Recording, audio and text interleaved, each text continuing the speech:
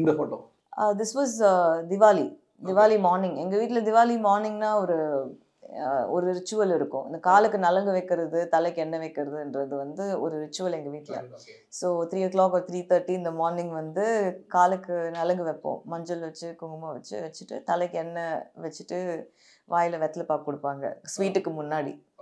So அந்த moment தான் இது. ஓகே ஓகே இதுல யார் ரொம்ப அட்டாச் யாத்ரா லிங்கால ரொம்ப தாத்தாவோட ரொம்ப பிரியமா இருக்குது வந்து தாத்தா ரொம்ப அதிகமா செல்லம் கொடுக்குறது யாருக்கு? இல்லை தாத்தாவோட ரொம்ப பிரியம் அப்படின்னா அது வந்து யாத்ரா. தாத்தாவோட பெஸ்ட் ஃப்ரெண்ட்னா லிங்கா.